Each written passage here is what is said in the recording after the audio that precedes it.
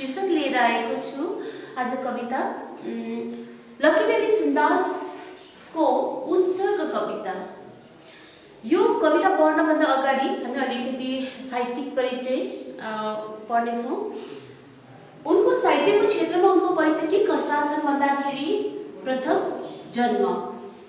उनको जन्म क कवयत्री लक्कीदेवी सुन्दासको जन्म सत्ताइस मार्च उन्नाइस सय चौतिस सालमा कलकत्ता सहरमा भएको थियो। कलकत्ता सहरमा उनको जन्म भएकोले गर्दाखेरि उनको नाम पनि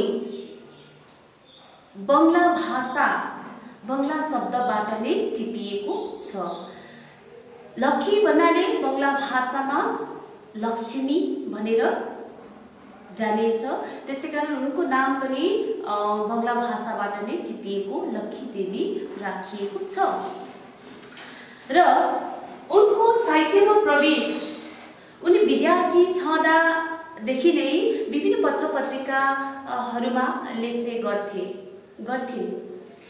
त्यसपछि सन् उन्नाइस सय छ्यालिस सालदेखि विशेष रूपमा उनले साहित्य लेखनमा प्रवेश गरेको पाइन्छ।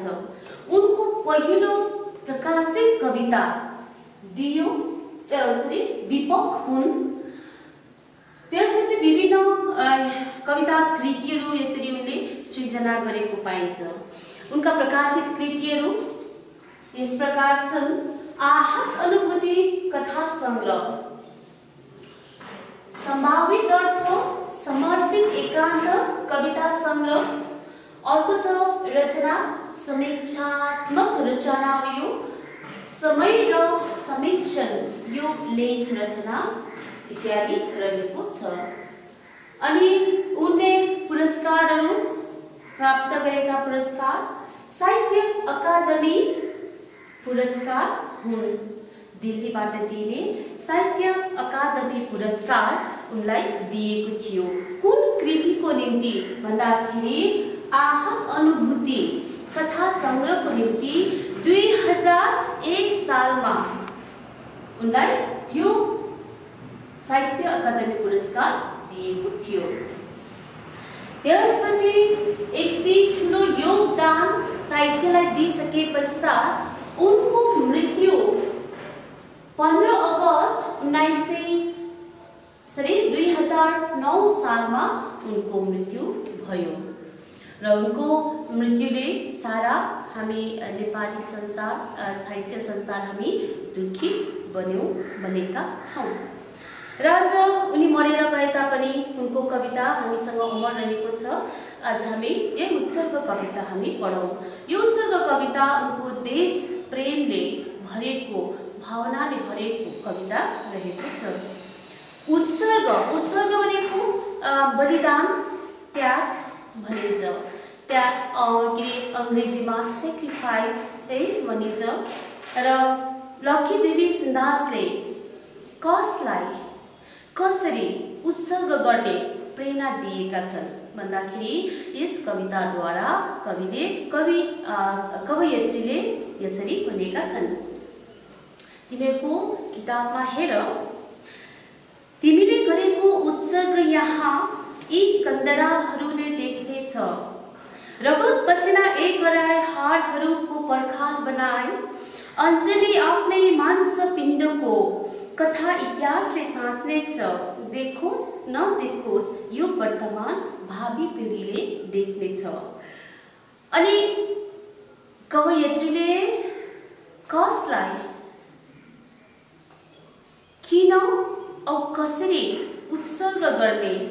बलिदान दिने प्रेरणा यहाँनिर भनेका छन्। कसरी योगदान दिने भनेका छन्? भन्दाखेरि चाहिँ तिमी भनेर यहाँनिर सम्बोधन गरेका छन्। तिमी भन्नाले सिपाही ए मजदुर वर्ग देशका सिपाही मजदुर वर्ग है? अनि विभिन्न क्षेत्रमा के अरे देशको हितको लागि काम गर्ने त्यस्ता विभिन्न कर्मचारीहरूलाई यसले सम्बोधन गरेका छन्। उनीहरूलाई कसरी उत्सर्ग गर्ने प्रेरणा दिएका छन् भन्दाखेरि रगत र पसिना एक गराएर रगत पसिना बगाएर देशको रक्षा गर्ने। आफ्नै हाडहरूलाई पर्खाल बनाएर एउटा ढाल बनाएर अघि बढ्ने शत्रुहरूको सामना गर्ने प्रेरणा दिँदै कविले यसरी उत्सर्ग गर भनेर भनिरहेका छन्। अनि अब सिपाहीहरू है शत्रुहरूसँग लड्नको लागि उनीहरूले के गर्नुपर्छ? भिर पहरा कन्दारा कन्दारा भनेको भिर पहरा चट्टानहरू भनेर बुझिन्छ। त्यस्ता चट्टानहरू नभनिकन भिर पहरा नभनिकन उनीहरू शत्रुसँग जुझ्दै अघि बढ्नुपर्ने हुन्छ। भनेपछि यतानिर देशको सहयोगको निम्ति देशलाई योगदान दिनको निम्ति विभिन्न यस्ता मजदुर वर्गहरू जो सडक निर्माण गरिरहेका छन् है? उनीहरूले पनि घाम पानी नभनी घामले पोल्यो पानीले भिज्यो इत्यादि नभनिकन उनीहरूले पनि योगदान दिइरहेका छन् है? अनि यसरी दिएको योगदान है के अरे देशको निम्ति देशभरिका संसारभरिका मानिसहरूको निम्ति दिएको योगदान योगदान चाहिँ त्यसै खेरो जाने छैन। आजको मानिसले नदेखे तापनि भावी सन्तानले देख्नेछ। भावी पिँढीले भनेको चाहिँ भावी पिँढी भनेको आउने सन्तानहरूले यसरी देख्नेछ। यसैले आज तिमीहरूले के गर उत्सर्ग गर। अघि बढ देशलाई रक्षा गर भनेर कवियत्री लक्कीदेवी सुन्दासले यसरी भनिरहेका छन्।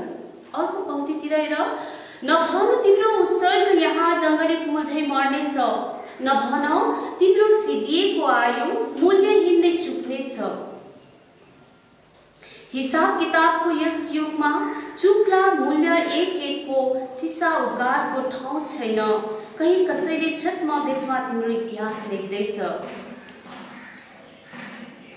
ती सैनिकहरू ती देशका रक्षकहरू जसले अ, योगदान दिँदाखेरि है हरेस खाएर आह योगदान अ, किन दिनु? है आ यो सिद्धिएको आयो। औ मरि सिद्धिएको आयो भन्नाले चाहिँ के अ, निर्देश गर्छ के बताउँछ भन्दाखेरि चाहिँ अ मरि मरि त हाल्छ। शत्रुसँग भिडान्त हुँदाखेरि मरि त हाल्ने हो भनेर हरेस खाने यस्ता सैनिकहरू देशका रक्षकहरूलाई यसरी भनेका छन्। तिमीहरूले दिएको योगदान चाहिँ त्यतिकै अ, जङ्गली फुल चाहिँ मरेर जाने छैन। है जङ्गली फुलले के गर्छ? के अरे जङ्गलले उज्यालो पारेर फुले तापनि त्यसलाई कसैले हेर्दैन। त्यसको सुन्दरतालाई कसैले हेरिदिँदैन। त्यो मूल्यहीन रहन्छ। त्यो त्यस त्यतिकै बैलाएर जान्छ उहिल्याएर जान्छ होइन? त्यस्तै योगदान दिएका ती सैनिकहरूको त्यो योगदान चाहिँ के हुनेछ? त्यतिकै बैलाएर जाने छैन। त्यो अझै अमर अजर अमर रहनेछ। कसैले लुकेर छतमा भेष भनेको लुकेर कसैले तिनीहरूको योगदानको इतिहास लेखिरहेका छन्। कसैले लेखिरहेका छन्। किनभने आजको युग के भनेका छन्? हिसाब किताबको युग हो। आजको युग चाहिँ के हो? वैज्ञानिक युग हो।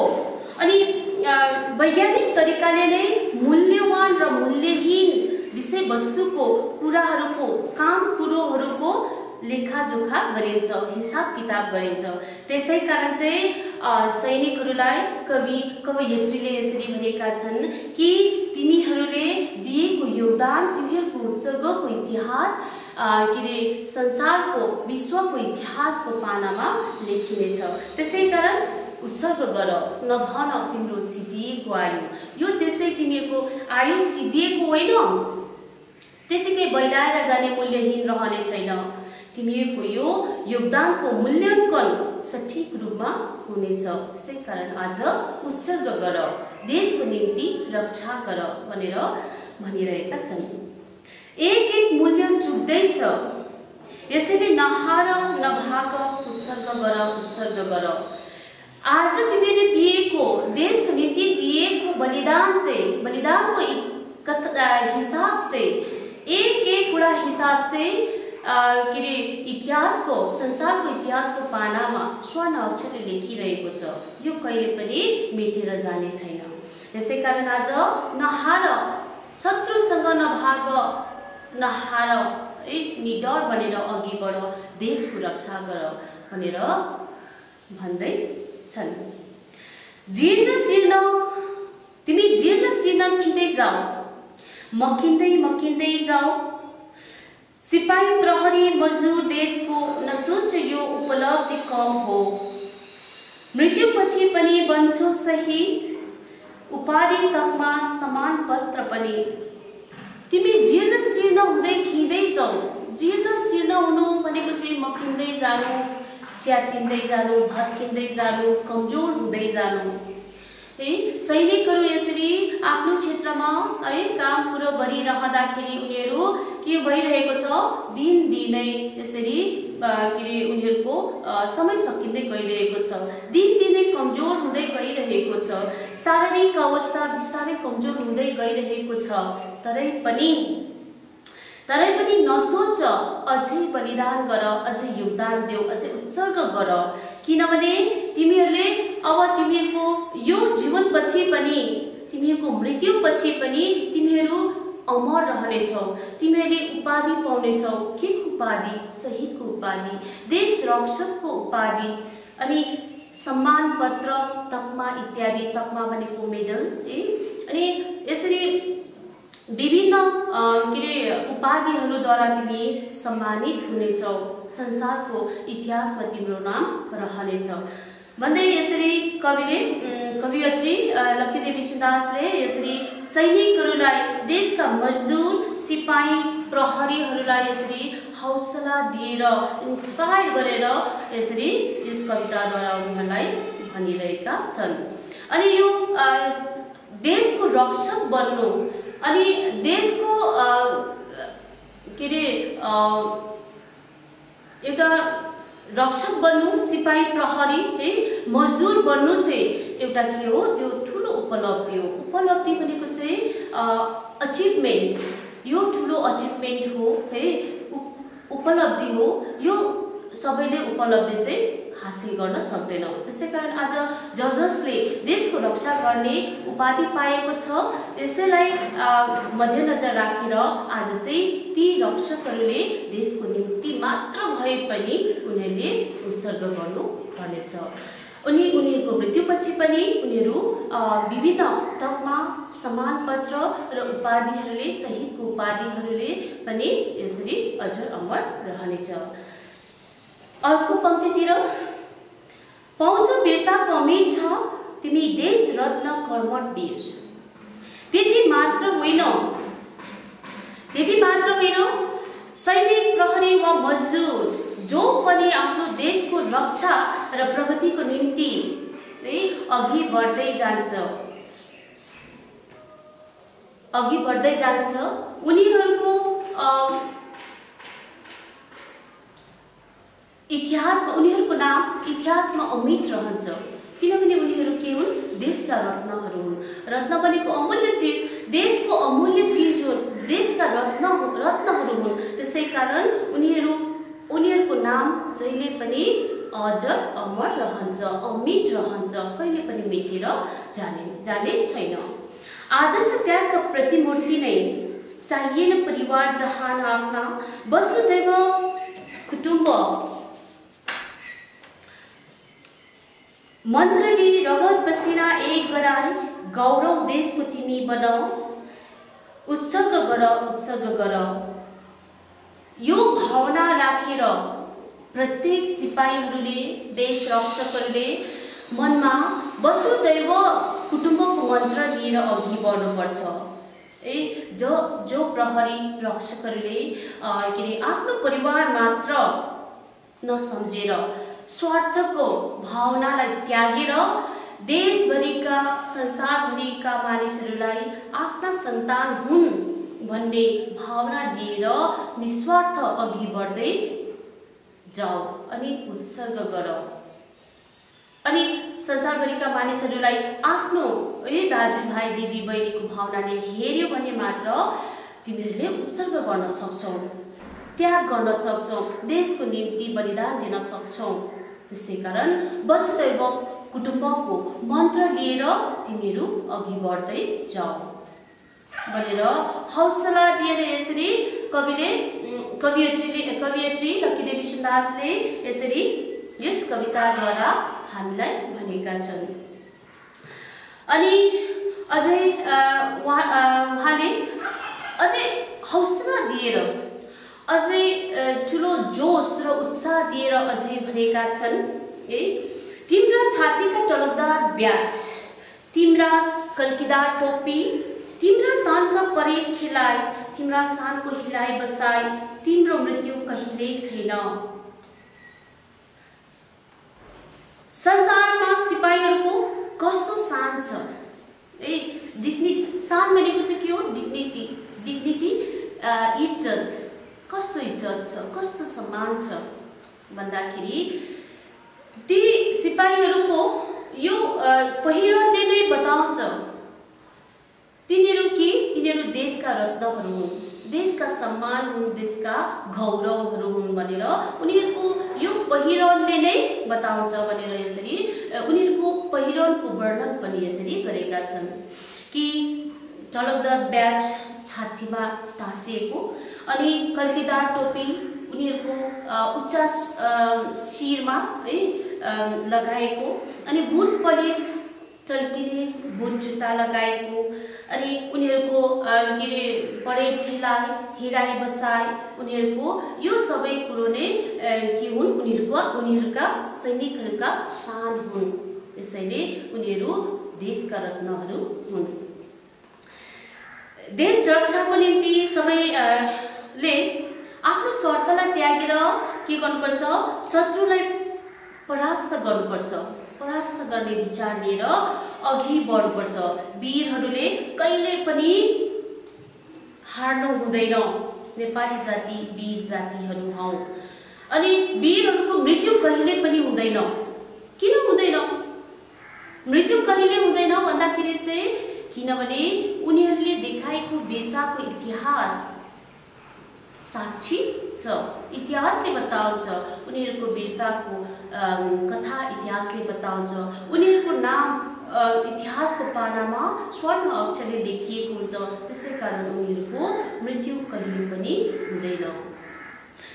अडेक हिमाल से अजर अमर सुरक्षित इतिहासको पाता तिमीलाई। शुभकामना संवेदना राशि राशि लाखौँ लाखौँ मुटुका भावना। लक्ष्मीदेवी सुन्दासले उनीहरूलाई अन्तमा यसरी के अरे जोस हौसला है उत्साह दिएर माया अथवा संवेदना शुभकामना पनि यसरी प्रकट गरेका छन् भने भन् उनी भन्छन् कि तिमीहरू कस्ता छौ? हिमाल चाहिँ अडिक छौ। हल्लाउनै नसक्ने कसैले तोड्नै नसक्ने अडिक अजर अमर छन्। ती देशका रक्षकहरू सैनिकहरू हाम्रा सैनिकहरू हिमाल जस्तै अचल छन्। अनि सम्पूर्ण देशवासीले उनीहरूलाई शुभकामना र संवेदना यसरी प्रकट गरे। अनि मुटुका लाखौँ लाखौँ शुभकामना र संवेदनाहरू यसरी चढाइरहेका छन्। राशि राशि भनेको चाहिँ थुप्रै थुप्रै धेरै अन्तिम पङ्क्तितिर तिमी होमिन्दा युद्ध वेदीमा प्रार्थना ऋचा वेदका ध्वनिहरू यसरी तिम्रो त्याग तिम्रो बलिदान नगन्य होइन नचुक्ने होइन गौरव देशको बन्दै आए उत्सर्ग गर उत्सर्ग गर। अनि अन्तमा अन्तिम पङ्क्ति पङ्क्तिमा उनले भनेका छन् कि तिमीहरू यसरी युद्ध भूमिमा युद्ध वेदी भनेको चाहिँ युद्ध भूमिमा है यसरी युद्ध लड्न जाँदाखेरि शत्रुहरूसँग घुमिन जाँदाखेरि चाहिँ तिमीहरूको लामो आयुको निम्ति हामी सबै संसारका मानिसहरूले तिमीहरूको लामो आयुको निम्ति प्रार्थना गर्नेछौँ। वेदका ऋचाहरू मन्त्र ऋचा भनेको मन्त्रहरू। वेदका मन्त्रहरू पनि हामी पढ्नेछौँ। तिमीहरूको लामो आयुको निम्ति। यसै कारण तिमीहरूको यो के अरे उत्सर्ग गरेको के अरे कुरा चाहिँ ए बलिदान र योगदान दिएको कुरा चाहिँ यो चाहिँ नगण्य रहने छैन। यो मूल्यवान रहनेछ। यो गण्यमान रहनेछ। गन्तीमा आउनु। गण्य भनेको गण्यमान हुनु भनेको गन्तीमा आउनु गनिनेछ मूल्यवान हुनेछ मूल्याङ्कन गरिनेछ भनेर कवि कवियत्री लक्की देवी सुन्दासले उनीहरूलाई अन्तमा शुभकामना संवेदना प्रकट गर्दै र उनीहरूको लामो आयुको निम्ति पनि यसरी प्रार्थना चढाउँदै ती देशका रक्षकहरूलाई यसरी संवेदना प्रकट गरेका छन्। र यो कविता एउटा देश भावनाले भरेको है देश प्रेमको भावनाले भरेको कविता हो।